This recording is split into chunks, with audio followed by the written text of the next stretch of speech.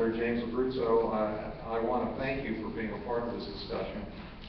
Um, I want to thank the Newark Museum. This was a great place to, to hold a conference, I think. And I want to thank our very generous conference sponsors, Wells Fargo, PSE&G, American Express, and Merck. And I want to thank the members of our advisory board for their continuing support and for their attendance here today.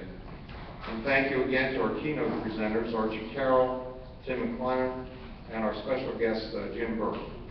I'd be remiss if I didn't say thank you to Prudential Financial and the Prudential Foundation, who have invested in us over the years here in Rutgers at the Business School to inculcate ethical leadership here and in the many programs that we have. Frankly, we wouldn't be doing this without the support of Prudential and the other sponsors, such as those who have sponsored today's conference. So we thank uh, every one of you.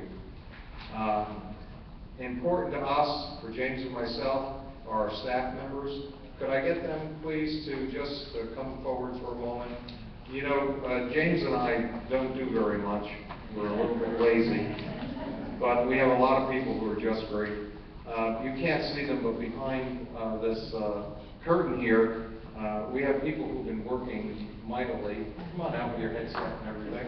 Stage managers, individuals who did the logistics, the people who did the marketing and advertising, the folks who got you signed up, the folks who hopefully made this as seamless as possible, that chose the menu, that made sure everything went well. So Margaret Della, who ran everything for us, and you, Rob, our executive director, Will Dana Bachman, and Sandro Zapata, where are you, Dana? And AD room, at them waving up there, they're waving. Jessica Johnson, our administrative assistant, who's also waving from back there. And our interns and our volunteers, please stand up. Thank you.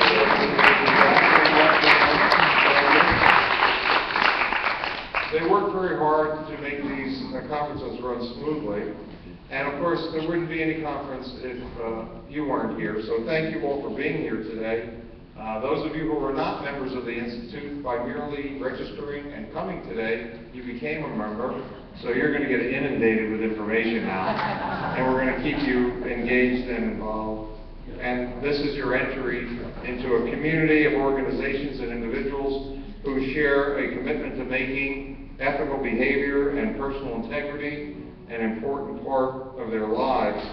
And one uh, final thought to encourage you to build on and act on your action plans is the following.